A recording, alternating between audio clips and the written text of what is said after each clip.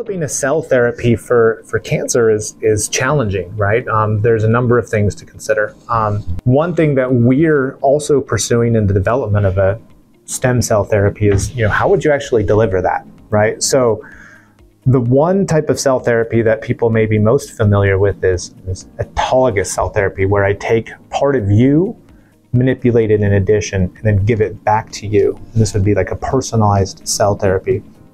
The problem with doing that with iPS cells is it's slow. There's a lot of quality control steps along the way and ends up being extremely expensive, right?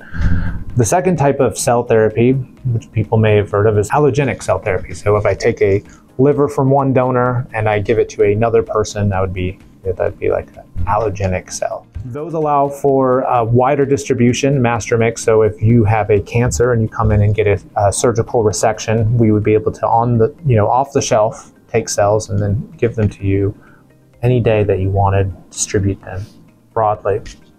The problem there is that you'd be on immune suppression, and of course, the immune system is so critical for cancer remission that you would not want that approach.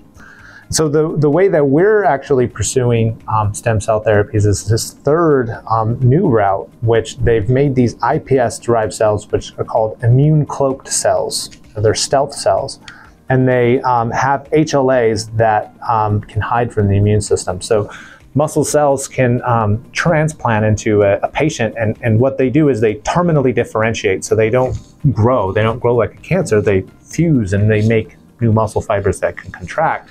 But they um, they evade the immune system, and so that they're immune cloaked, and therefore you would not have to be on immune suppression. And so our whole goal is to translate this cell therapy um, using uh, the California Institute for Regenerative Medicine, the, the UCI Cancer Challenge, to then you know develop a, a broadly used um, stem cell therapy for multiple people.